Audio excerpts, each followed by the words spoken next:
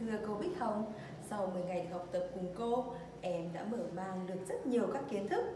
Em cảm thấy có một sự tiến bộ rõ rệt và em đã hiểu thế nào là STEAM và cách ứng dụng STEAM như thế nào trong tất cả các hoạt động.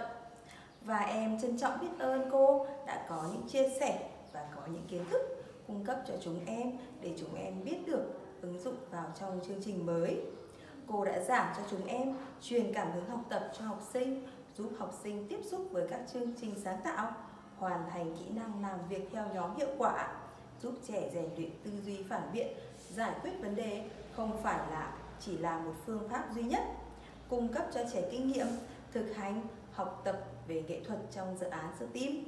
Và em trân trọng cảm ơn cô và ban tổ chức đã giúp chúng em rất nhiều. Chúng em đã hiểu sâu hơn nữa các kiến thức về STEAM, cách thiết kế giáo án điện tử trên phần mềm Canva.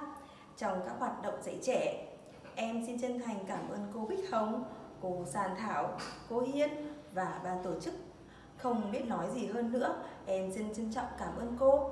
Chúc các cô và ban tổ chức luôn mạnh khỏe để có thể lan tỏa những kiến thức quý báu giúp chúng em ngày càng tiến bộ hơn trong chuyên môn và đặc biệt vững tin hơn khi nói về STEAM. Em xin chân thành cảm ơn cô.